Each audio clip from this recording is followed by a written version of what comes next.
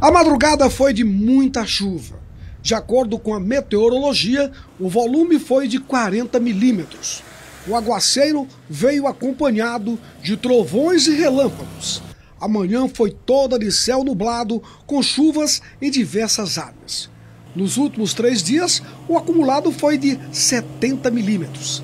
A Defesa Civil deu alerta e tem monitorado as principais áreas de risco: Santa Maria, Cidade Nova, Porto Dantas, Santo Antônio e Bairro América estão entre as preocupações.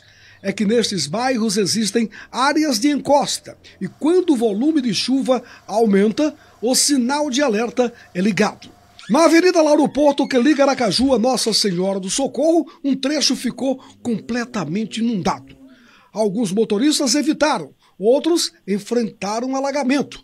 Teve gente de moto e bicicleta enfrentando e atravessando a inundação. Nas primeiras horas da manhã, um acidente foi registrado, mas nada grave. Meu filho ia trabalhar agora ali na empresa, aí distante.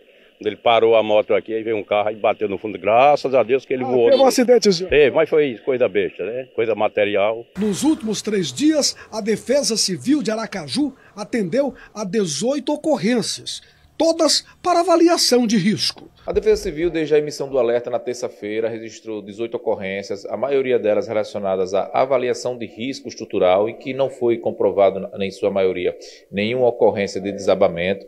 E nós temos um, um acumulado até o momento de quase 70 milímetros nesses três dias, hoje com um incremento maior de quase 40 milímetros durante a madrugada. Essas chuvas vieram acompanhadas de trovões e de ventos fortes, mas até o momento nenhuma ocorrência grave, nenhuma pessoa está desabrigada fora da sua residência por, por, essa chuva, mas a gente acredita que ainda temos é, previsão dessas chuvas se continuarem pelo menos até amanhã com essa intensidade e a gente está preparado para atender e minimizar esses impactos provocados pelas chuvas. A meteorologia prevê chuvas até o próximo dia 24, sempre acompanhadas de ventos fortes, com rajadas entre 60 e 100 km por hora.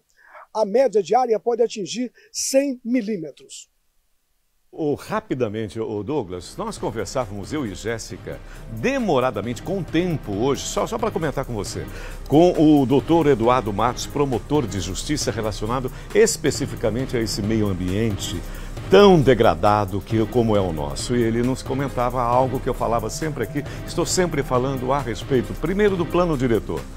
Plano diretor para a nossa cidade é absolutamente necessário, defasado, são décadas sem atualização e mais o planejamento para todas essas localidades. Nós, nós mostramos, eu me lembro como se fosse ontem, ontem, o ano passado, a mesma situação, no mesmo local, os mesmos caminhões, os mesmos veículos, a mesma situação e não pelo que eu percebo, fazem o quê? Não fazem absolutamente nada ou ficam esperando acontecer e mais que isso, e o pior, justificando e culpando a chuva que tem costas muito largas.